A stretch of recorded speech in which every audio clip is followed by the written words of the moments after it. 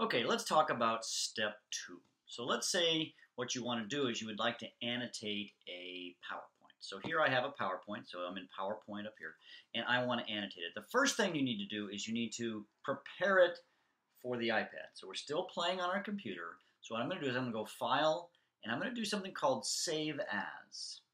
Now when I do Save As, it's very important that you convert it to a PDF. So down here in the format, I chose PDF.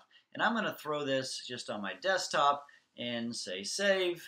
And um, I already had one on there, but uh, we'll save. It's converting this into a PDF because the PDF will be able to be read by the uh, iPad better than the PowerPoint.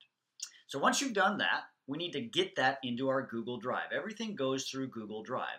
So I'm going to go back to my Google Drive. So I've in my Drive, I've got all these things. But remember, I've still got this. Actually, I created a folder. This might be a good idea called Presentations. And in the presentations, I've got a presentation there. But I'm going to add a presentation, or I'm going to upload a box. See this little red arrow? If I click here. I'm going to click Files. I'm going to navigate to on my desktop where this is. It is called um, Flip Learning Common Core. So I believe Flip Learning and Common Core fit together. And it's uploading. This is going to be really powerful because now I'm going to be able to import this presentation that I created in PowerPoint into Explain Everything. And then I'm ready